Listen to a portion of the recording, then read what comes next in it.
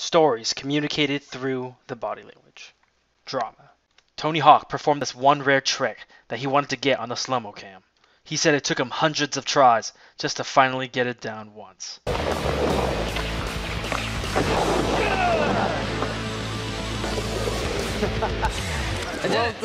he finally got the slow mo footage for the trick, but then this happened. Drop in. Tell you what, if you manage to do this, right, I'll try and drop in on this. That might be the slow-mo highlight, though. I don't want to take your thunder away from you, yeah. But why would Tony see Dan as a threat? It's the perfectionism that's keeping Tony's mind occupied. that might be the slow-mo highlight, though. I don't want to take your thunder away from you, yeah. Because you did your trick, I now promised I would try and drop in. Once Dan mentions that he's going to drop in, Tony begins to show signs that he's bothered by the situation. He puts his hands together. He purses his lips. Tony Hawk knows that wipeouts can grab a lot of attention, even more than the trick itself. Jackass combined wipeouts and parodies together, and they became famous for it. Are you okay? Are you okay? And that's why Tony Hawk is worried about Dan stealing his thunder. On this. That might be the slow-mo highlight, though. I'm not holding you to it. I know you're not. but I'm, I'm, gonna morbidly hold... curious, but I'm not holding you to it. morbidly curious. Tony starts to let Dan know that he doesn't have to go through with the wipeout, and his body language starts to show it. I'm not holding you to it. Tony's palms facing outwards instead of communicating that he doesn't want Dan to go through with it. No, you're not, but I'm, I'm, morbidly hold... curious, but I'm not holding you to it. morbidly curious.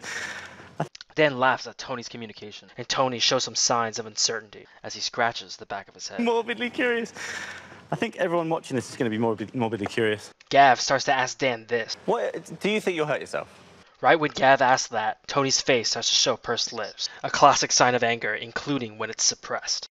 Tony's bothered because he knows that Dan wants to hurt himself to get views. I'm gonna morbidly hold- curious, but I'm not holding you to it. morbidly curious. I think everyone watching this is going to be morbid, morbidly curious. What do you think you'll hurt yourself? Oh yeah. It just depends how much. This is his mindset stepping into the half pipe. Oh man, this is so high. Look, they want me to walk off that. Oh man. like, AD's over there, like, yeah, we're good to go. Cameraman's laughing. If there's any doubt, just go to your knees. Tony tries to give him some advice on how to fall into the ramp. But the thing is, you've got to commit. So how can I have doubt and commit at the same time? Dan starts to show some resistance because he already knows the kind of fall that he wants. He wants to fall in the most entertaining way, and going to the knees is not what he had in mind when he began the climb up the ramp. But the thing is, you've got to commit. So how can I have doubt and commit at the same time? If you choose the escape route, go to your knees. Dan's conflicted in what he wants to do. Okay.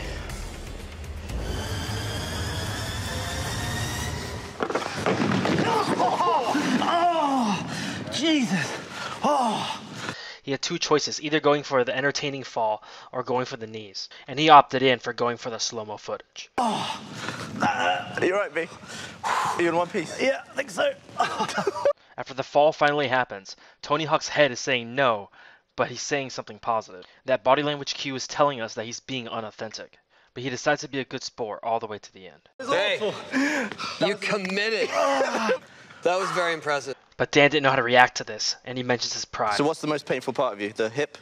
Either the hips or the wrist, I'm not sure. One of the two.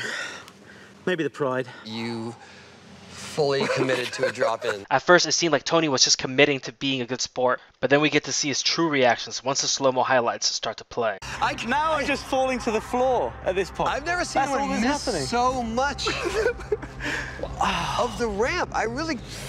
Oh, That's amazing. We might as well have just filmed someone fall off a roof. Oh, Yeah, that that wrist doesn't look good now. The average height of a two-story home is about 16 feet. It took Dan to fall off a 14-foot half-pipe in order for Tony to feel some compassion for Dan. And then Tony does this. We might as well have just filmed someone fall off a roof. Took some guts. Hey, I I know. couldn't not do it. I know you didn't make it, but I really was impressed that you tried. I want you to have the board that you. actually did Are you Yeah. kidding me? Yes. Oh my god. You deserve it. But Dan knew what he was doing when he committed to it. Yeah. definitely break yeah. a I bone. I pretty much just threw myself off that, knowing Yeah, that I was going to. well, you did because your body left the half pipe and the skateboard went It one way and your good. body went the other way. You deserve it. If anyone deserves that board, you do. Dan is communicating that his reaction is dishonest as he's rubbing his eyebrows and shakes his head no. I mean, way to steal the thunder on on my slow-mo clip, but Oh, man. nice. Dan rubs his eyebrows one last time because he knows that he did steal Tony Hawk's thunder after all. on on my slow-mo clip, but Oh, man.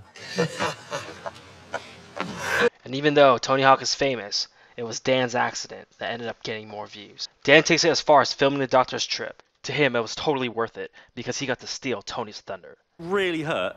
Although you'll definitely agree with me, it was totally worth it. Totally worth it. I'd love it if you guys subscribe, but if not, that is totally cool too. My name is Tyler Match, and thank you for watching Body Language Drama.